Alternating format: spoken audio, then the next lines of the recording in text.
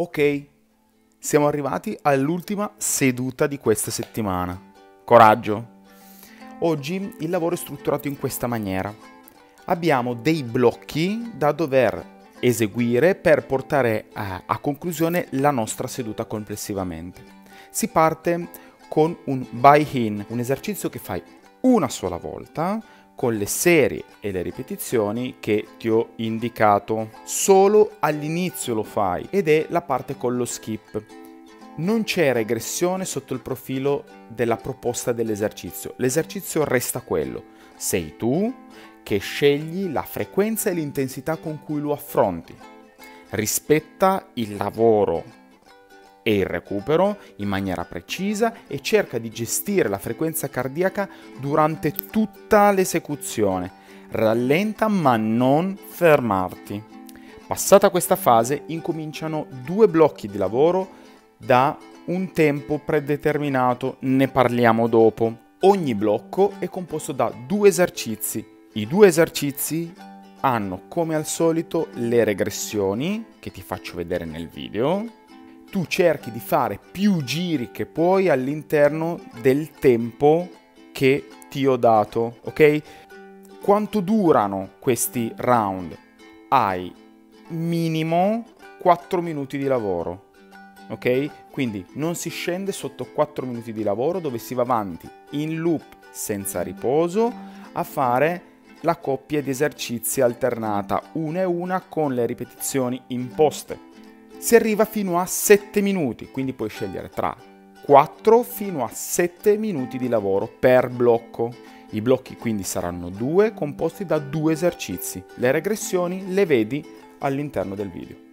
Per concludere il tuo allenamento avrai un cash out composto fondamentalmente dal bar P. Devi fare un certo numero di bar P per concludere il tuo allenamento. Ti lascio in descrizione il video dove ci sono le regressioni dell'esercizio. In questo caso, essendo l'ultima stazione della settimana, il numero di ripetizioni rimane quello. Scegli tu con che modalità tecnica eseguirle. Dai che siamo arrivati al fondo anche di questa settimana. Sei stato grande. Coraggio. Partiamo appunto con lo skip. Abbiamo da fare il nostro lavoro per poi passare ai primi blocchi che sono composti da un side to hop jump e il lavoro ehm, sarà a ripetizioni dove o facciamo la prima variante o questa seconda con solo passi accostati.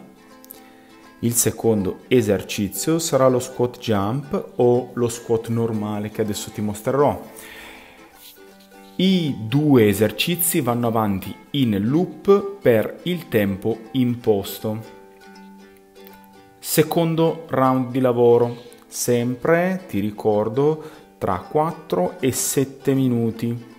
Primo esercizio che sono dei push up to lunge, come puoi vedere inserisco la gamba dal lato in cui alzo il braccio, oppure semplicemente lavoro nella stessa condizione con dei normalissimi push-up, piegamenti sulle braccia. In questo caso alterniamo, possiamo anche valutare la eh, variante sulle ginocchia e lo alterniamo al jumping jack, ok?